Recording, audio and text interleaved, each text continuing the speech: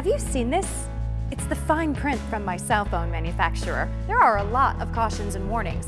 And if you've Googled cell phone risks, these things could be dangerous to your health. Now, I'm not getting rid of my cell phone, but I'll note the warnings. And for my family, having home phone service from Buckeye Cable System is sensible. I'll use my cell phone when I'm mobile and in moderation, but when I'm at home, I'll use my Buckeye phone.